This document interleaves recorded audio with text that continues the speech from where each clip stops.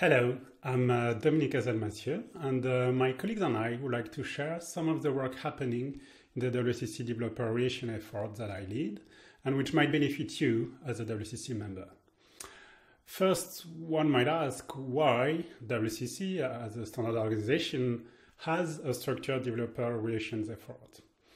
The reason is that no matter how good a specification uh, is, its impact as a standards arise from its actual adoption. And in the case of W3C standards, um, developers and designers are a key component of that adoption. W3C members and the broader community invest significant resources in creating specifications. So it's absolutely critical to ensure that uh, these specifications match the needs that developers face every day. And once these uh, specifications get implemented, it's make good sense to ensure that the developers get the support they need to make good use of these specifications. So how W3C accomplished this? As you may know, W3C maintains and runs a number of open source tools designed to help developers assess how well their content follows the best practices defined in web specifications and to encourage the adoption of their guidelines and technologies, the Web Accessibility Initiative and the internationalization activity have long developed, maintained, and promoted articles, tutorials, and other materials to explain how to create quality content. In addition, W3C runs a large-scale online MOOC training program called W3Cx. It has reached more than 1 million learners so far, who have been able to learn from courses built and reviewed by the W3C community itself. More recently, the developer relations team have put a greater focus in bringing visibility to the early specification work done in W3C groups using social media. We are very active on W3C Devs on Twitter and W3C Official on YouTube.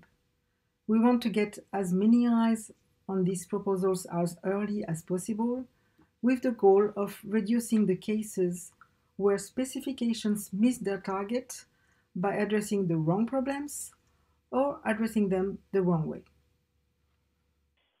We are also very actively involved in Mozilla's MDN web documentation portal, both through its product advisory board and through the recently launched Open Web Docs effort with the goal of ensuring developers and designers benefit from the most accurate and up-to-date documentation when they use web technologies. And we are now also initiating a new program in this effort to create tighter feedback loops between groups and the developer community.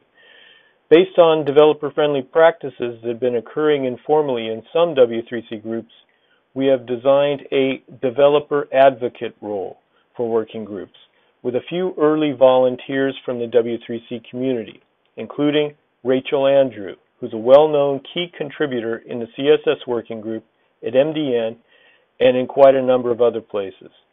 Our goal in having a more structured approach with that role is to foster shared learning across groups, raise the level of responsiveness that developers can expect from W3C groups, and increase the visibility into developer pain points that W3C groups are receiving. Our first exploration in this program is looking at Stack Overflow, MDN Web Docs, GitHub issues, and social media as places to directly increase interaction with developers. The Developer Relations Community Group is being relaunched as the place where this program will grow. We're also counting on this program to help us make the W3C a more welcoming place for new participants and in particular for folks coming from underrepresented communities, which is a theme that came out of the public breakout program, which we ran during TPAC 2020, and that we hope to build on in TPAC 2021.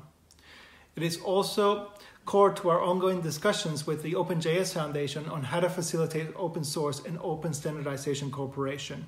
If you or your organization are interested in helping us make our shared work at the W3C more impactful, then help us spread the word by participating in our new Developer Advocate Program.